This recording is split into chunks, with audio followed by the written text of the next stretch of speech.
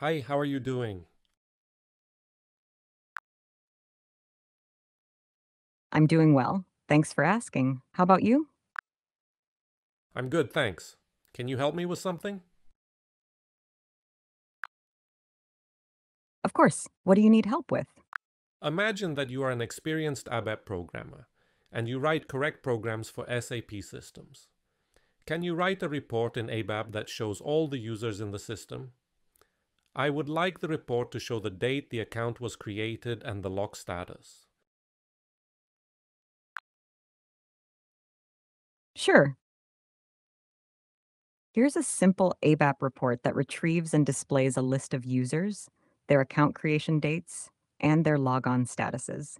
You can see the code in our conversation history. This program selects user information from the USR02 table and displays the username, creation date, and logon status. The UF flag field represents the logon status, where different values indicate various statuses, e.g. locked, unlocked. Do you need any modifications or additional features for this report? Can you add the user-friendly statuses? Certainly. Let's add user-friendly logon statuses. Here's the updated ABAP report. You can see the code in our conversation history. In this updated version, the logon status is translated to a more user-friendly format. The UFlag field is checked, and a corresponding status text is assigned. The report then displays these statuses instead of the numeric values. Does this meet your requirements? Yes, thank you. You're welcome. If you have any other questions or need further assistance, feel free to ask. Dear Sapdalf, what was that? It was a new fascinating language model, and we are just starting its testing. There was a time when everyone thought OpenAI was lagging behind.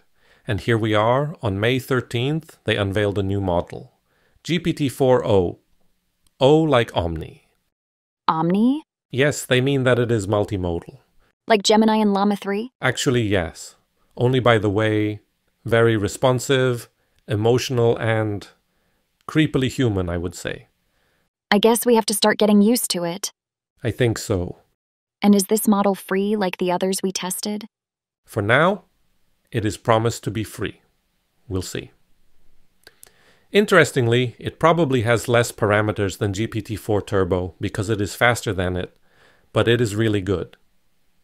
Anyway, let's see what kind of report it created for us during the conversation at the beginning of this video. I switch to the web interface, where I have the history of the conversation. Here is the first version of the report with numerical statuses. And here is the second version, where the log status is descriptive, copied to the clipboard. This is the part I asked for, with descriptive statuses. It's not likely to be all statuses, but at least something. Now that I have the code copied, it makes sense to move it to SAP and see if it works. Moving on to the GUI. This is my system, which I have presented many times before.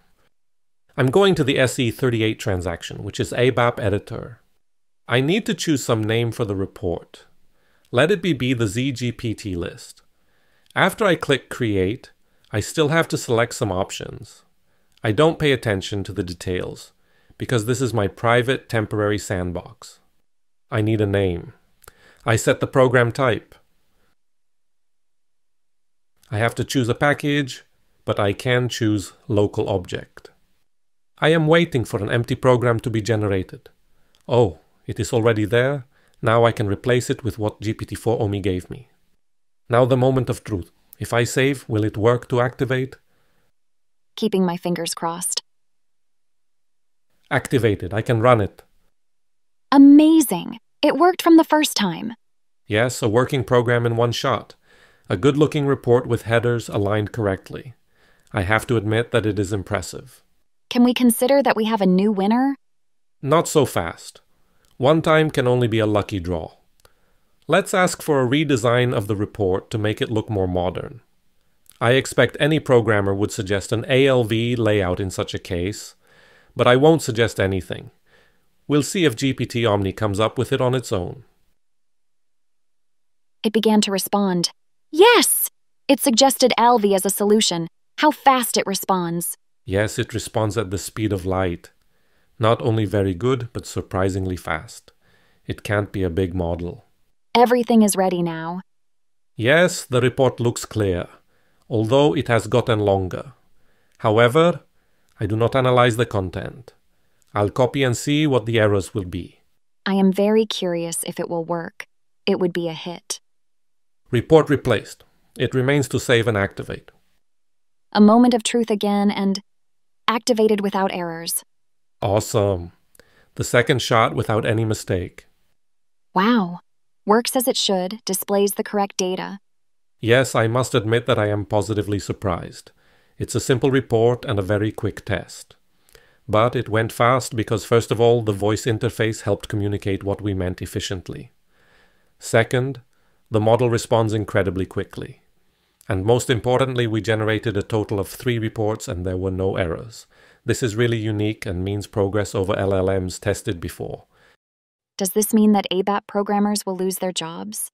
Not yet. It's not that level yet, but see how fast it's moving forward.